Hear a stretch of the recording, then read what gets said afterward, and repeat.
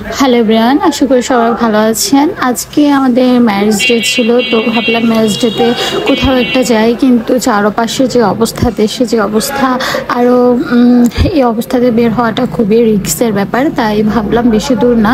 আমরা কাছে কোথাও যাই, কিন্তু কাছে কোথায় যাব, আমাদের এরিয়াতে মানে সুন্দর কোনো প্লেস নাই, যা যা ছিল, তা আমরা অনেকবার গিয়েছি। তাই ভাবলাম যে আজকে আমরা হচ্ছে বারবিকিউ করে খাই। যদিও এটা একটু অন্য ব্যাপার যে গরমকালের মধ্যে বারবিকিউ তারপরেও খেতে ইচ্ছে করছে, তাই বেরিয়ে পড়লাম। অনেক খোঁজাখুঁজির পর বারবিকিউ স্ট্যান্ডটা আমরা পেয়েছি, অনেক দূরে যেতে হয়েছে। তারপর সেখান থেকে আমরা এনেছি, এনে যা যা লাগবে কয়লা থেকে শুরু করে এভরিথিং নিয়ে আসতে হয়েছে। বাহির থেকে মাছ, কয়লা, তারপরে যে স্ট্যান্ডটা আমরা নিয়েছি, এটা ছোটোখাটোর মধ্যে, ছোট না মিডিয়াম সাইজ ছিল, আর এই সাইজটাই যথেষ্ট। এর বেশি বড় আমাদের আর দরকার নেই। তো আমরা ভাবলাম যে ঠিক আছে, এটা পারফেক্ট তাই এটা নিয়ে এসেছি। তো বাসায় এসে আমি মশলাগুলো মিক্স করতেছি, একে একে রাঁধুনি, একটা বারবিকিউ মাছের মশলা নিয়ে এসেছিলাম, ওইটা দিচ্ছি। সবগুলো মশলা একে একে আমি দিয়ে দিব, আপনারা দেখতেই পাবেন। প্রথমে এটার হাফ দিয়েছি, কারণ এতগুলো লাগবে না, ভিতরে তো অনেক মশলা থাকে। তো হাফ মশলা দিয়ে দিলাম আর কি। দিয়ে বাকিগুলো এবার আস্তে আস্তে দিব। আমার হাত থেকে পড়ছি না যেন। প্রথমে সবগুলো দিয়ে ফেলেছিলাম, পরে আমার হাজব্যান্ড বলল যে, না হাফ দাও। তারপর হাফ দিলাম, এই মশলাটা দিয়েছি। তারপর এখানে আদা, রসুন এবং পেঁয়াজ বাটা দিয়েছি। তারপর এখানে আমি লেবুকে চিবিয়ে দিয়েছি। লেবু আপনার দিতেই হবে, না হলে আপনার যে অরিজিনাল বার্বিকিউ টেস্ট এটা কিন্তু আপনি পাবেন না। লেবু ছাড়া পানসে পানসে লাগবে। তো সেজন্য লেবু চিবিয়ে দিলাম।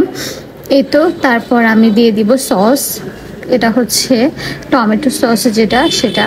তারপর সস অলরেডি আমার হাবি দিয়েছে দেখে আমি আর দিই এখানে দিয়ে দিচ্ছি বিট লবণ। বিট লবণ একটু দিবেন, তাহলে টেস্টটা ভালো পাবেন। তো বিট লবণ দিয়ে দিচ্ছি। পরিমাণ মতো দেওয়ার পরে এবার একে একে সবগুলো মশলা আমি মাখিয়ে নেব। এই তো, তারপর এখানে সামান্য একটুখানি পানি দিয়েছি, তারপর এখানে আবার সস দিয়ে দিচ্ছে। এরপর এই যে সবগুলো মশলা আমি মাখিয়ে নিচ্ছিলাম। হাতে একটা গ্লাভস পরে নেবেন।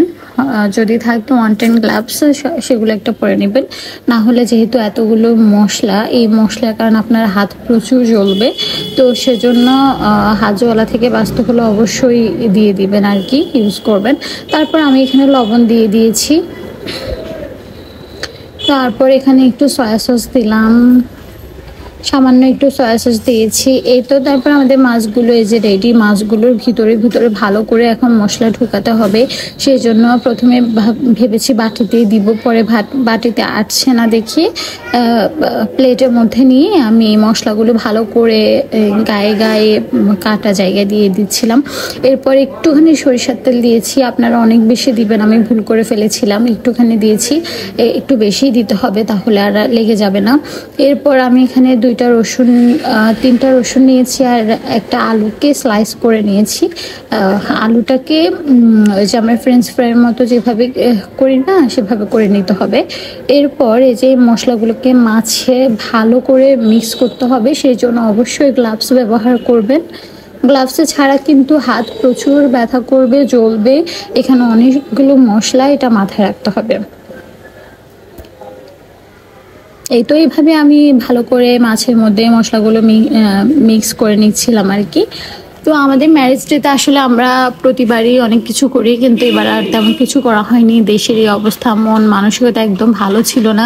এটা করার জন্য আসলে আমি প্রস্তুত ছিলাম না, কিন্তু আমার হাজব্যান্ড অনেক জোর করতেছিল। ওনাকে বারবিকিউ খেতে ইচ্ছে করে, চলো আজকে আমরা হচ্ছে বারবিকিউটা করি যেহেতু আমাদের ম্যারেজ ডে তো যেহেতু ম্যারেজ ডে তাই ভাবলাম যে ঠিক আছে, ওর কথাও রাখা যাবে। আর আমাদের স্পেশাল দিনটা একটু স্পেশাল ফিল করা হবে আর কি। সেজন্য এই আয়োজনটা তবে আমাদের দেশে সার্বিক কী অবস্থা অবস্থা দেখে আমার মোটেও ভালো লাগছিল না। খুবই খারাপ লাগছিল যে দেশটা যে বারবার মনে প্রশ্ন আসছিল যে আমার দেশ, এটা কি আমার দেশ? এই দেশ, স্বাধীন দেশের এই অবস্থা। এই বারবার এই কথাটাই আর কি আমার মাথায় ঘুরপাক খাচ্ছিল। মন খারাপ লাগছিল, সারাটা দিন ভালো লাগছিল না আর কি। এটা আমরা যখন বের হয়েছিলাম, তখন আমরা খুব সেফটি মেনটেন করতে হয়েছে, খুব সাবধানতার সাথে যেতে হয়েছে আর কি। দেশের অবস্থাতে বের হওয়া ঠিক না, আপনারা কেউই বের হবেন না। যেহেতু এখন একটু অবস্থা শিথিল হয়েছে, আগের থেকে একটু উন্নতি হয়েছে, সেক্ষেত্রে ভিন্ন ব্যাপার। কিন্তু আমরা যেহেতু একদম লকডাউনের ভিতরে গিয়েছিলাম, সাহস করে, আর এই যে স্ট্যান্ডটা, এই স্ট্যান্ডটা আনতে আমাকে অনেক দূর পর্যন্ত যেতে হয়েছে। আমরা কোনো একটা দোকান খোলা পাচ্ছিলাম না, যেখানে পাচ্ছিলাম, সেখানে আবার স্ট্যান্ডটা পাচ্ছিলাম না। এই একটা প্রবলেম ছিল, তবে আমরা দুজনে খুব ধৈর্যের সহিত হচ্ছে আমরা খুঁজেছি আমি পেয়েছি, যাই হোক, আলহামদুলিল্লাহ। তো এই ব্যাপার লকডাউন বা হচ্ছে যে এমন একটা পরিস্থিতি দেশের মধ্যে দিয়ে গিয়েছে, আপনাদের সময়গুলো আপনারা কীভাবে কাটিয়েছেন সেটাও জানাবেন। আমি মোস্ট অফ দ্য টাইম রান্না প্লাস যেহেতু আমার বেবি আছে বেবিকে সময় দেওয়া তারপর হচ্ছে গেমস খেলতাম ফোনে তারপর ফোনে কিছু এমসিকিউ সলভ করতাম, কিছুক্ষণ পড়তাম। আমার ফোনে কিছু অ্যাপস আছে, ওগুলোতে এমসিকিউ দেওয়া যায়, তো ওগুলোতে এমসিকিউ দিতাম নিজে নিজে পরীক্ষা দিতাম, তারপর অ্যান্সার দেখতাম। এই তো এগুলো একটু করেছি আর কি। স্পেশাল কিছু না, খুব সিম্পলভাবে আর কি কাটিয়েছি। টিভি দেখেছি। এই তো তারপরে যে কয়লা দিয়ে আমার হাজব্যান্ডে স্ট্যান্ডটা রেডি করে ফেলেছে, এখন হচ্ছে দেওয়ার পালা আমি দিয়ে দিয়েছি। দেওয়ার পরে যখন উল্টিয়ে দিলাম, তখন দেখলাম যে নিচে পাটটা লেগে গেল। তো এই ভুলটা আপনারা করবেন না আপনারা বেশি করে সরিষার তেল ইউজ করবেন। সরিষার তেল ইউজ করে দিলে কিন্তু এতটা লাগবে না, আমার একটু বেশি লেগে গিয়েছিল আর কি।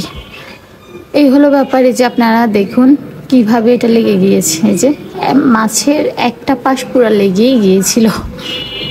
আমার ভিডিওগুলো দিতে একটু মিস্টেক হয়েছে।